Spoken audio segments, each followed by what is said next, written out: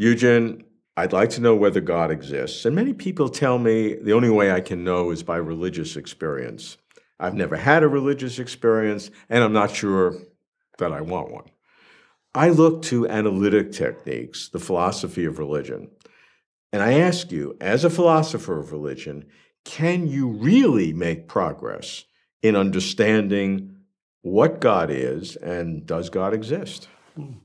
I'm just like you. I have never had any religious experience at all. And the reason why I do philosophy of religion is precisely because I want to know whether or not God exists. I want to know what's the uh, origin of the universe and i want to explore these big questions and that's why i do philosophy of religion and i believe that philosophy of religion is very helpful i learned a lot about about god the existence of god and the nature of god by doing philosophy help me understand specifically how this can work so um, scientists they are interested in what is true in this world so they're interested in what is true given the laws of nature in this world. They're not really interested in uh, other possible worlds or you know what could have been true and so on.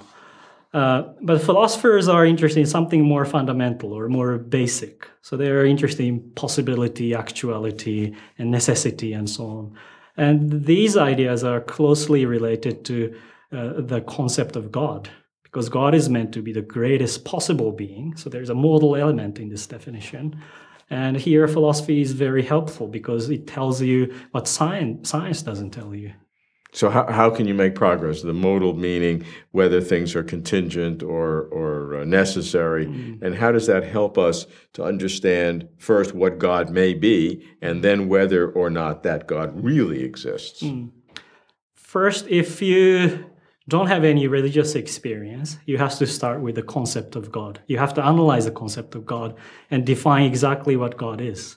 I mean, you don't have direct experience of God, so you have to do conceptual analysis.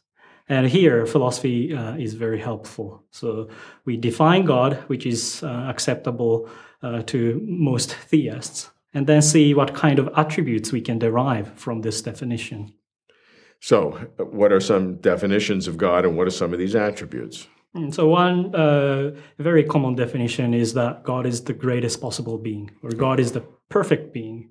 And from this definition, many theists derive further attributes like omniscience, omnipotence, moral perfection, timelessness, changelessness, incorporeality, simplicity, and so on. Many attributes. And those other characteristics are the way you describe it secondary mm. they're not primary that's right so nice thing about this definition god as the greatest possible being is that this definition subsumes all individual attributes that god has and you're not necessarily certain whether those other attributes apply. You may have to test. Yeah, them. here philosophers have to run different arguments to find out which attributes should be uh, ascribed to God.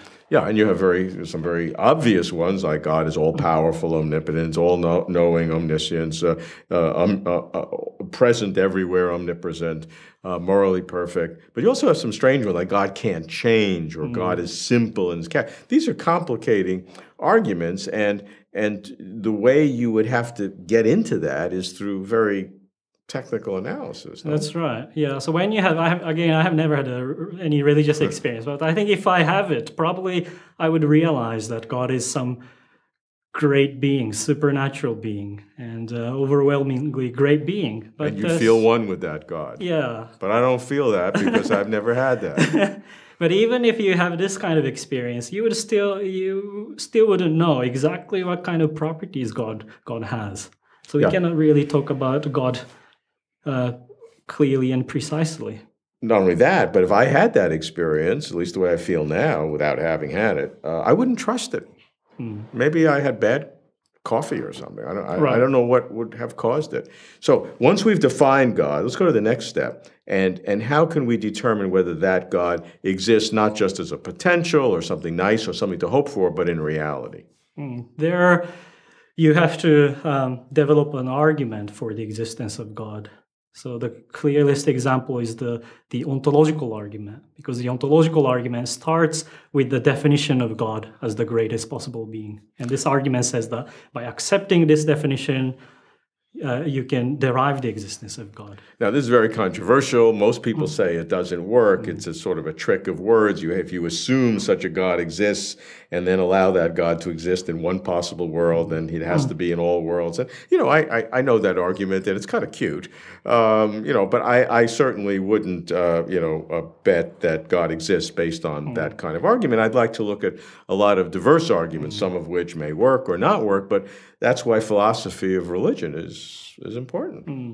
Schopenhauer famously said that the ontological argument is a charming joke. but I think it's more than a joke, and I take it very seriously. And I'm one of very few philosophers who endorse the ontological argument, and I hold theism on the basis of the ontological argument. and the more traditional arguments of the design of the world or the, uh, the cosmological argument in terms of uh, each cause having a previous cause and you have to have God as the as the primal cause. Uh, those arguments you think are less strong.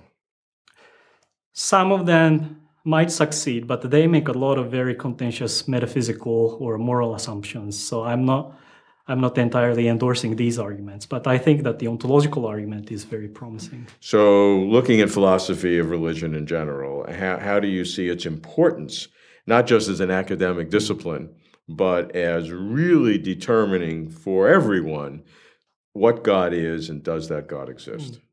So philosophers tend to focus on very subtle issues. They like subtle technical details, and they forget about these big questions: the existence of God, the origin of the universe, and the meaning of life, and so on. I love philosophy religion because there we talk about we directly address these uh, big questions.